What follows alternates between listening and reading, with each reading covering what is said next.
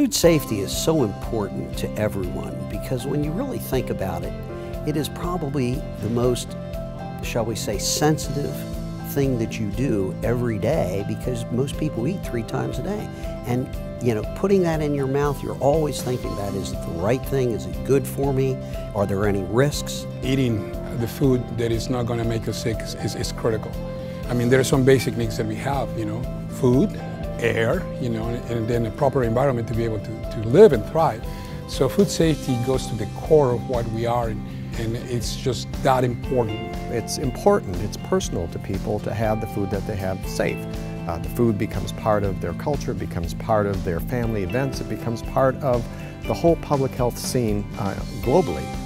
And so it's important to have uh, people who are passionate about food safety engaged.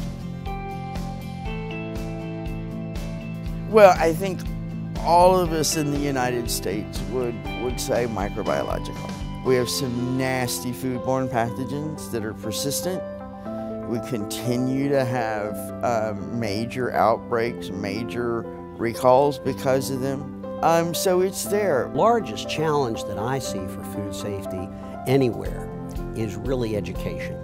Without educating not only, if you will, internally to the industry, but more importantly to the consumer. Uh, consumers certainly want to have confidence when they open that package, when they're in the kitchen preparing food, that they have a firm understanding of where risks may uh, arise from. Uh, but most importantly, they need to make good decisions as they prepare the food. Food safety is still critical. The little details and the people handling all those little details, not having enough training educational background to understand why that one thing they changed causes a huge catastrophe. The biggest positive changes I've seen in food safety, number one, are the Food Safety Modernization Act. I mean, I think that sets a whole new standard going forward. But along with that are the new technologies that are being developed that are much better able to help us uh, track and identify food safety hazards before they become big outbreaks. Something I've seen in the food industry is that there has been an explicit, specific focus on food safety. There's been awareness that there is a separate science of protecting the food through the process, not just making it and shipping it. So when we have this separate focus, we then work on best practices, we share best practices, and so the food safety field is getting more refined. I think we have finally gotten to a point where there is true collaboration among the stakeholders. You have regulatory, industry, academia, all sitting at the same table with the same objective in mind.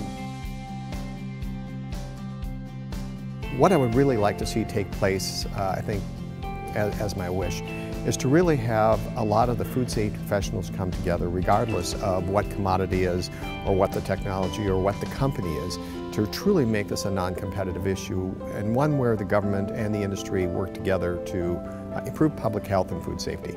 What I'd like in a perfect world, I think we're doing it right now by talking about the uh, integration of our food safety system.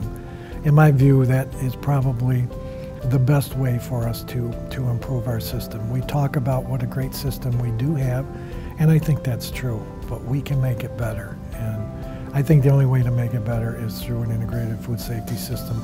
I've been involved in promoting that for almost 20 years, and I'm beginning to see that it's, it's starting to happen. This field, food safety, it was uh, a very, very great field to do my contribution to the world, or at least try to.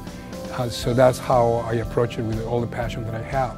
And, and it's not only for me, it's of course for my family, you know, it's of course for my kids, of course for my grandmother and, and my extended family and all of the other ones, but not only of mine, but anywhere. All of the food safety work we do it's helping people in general, but it's very gratifying when you're working with the companies to see that company. You made a difference for those people in that company. The work of my profession has clearly reduced the number of foodborne illnesses and deaths associated with foodborne illness uh, in this country. And, and I'm very proud of, of that for, for my profession.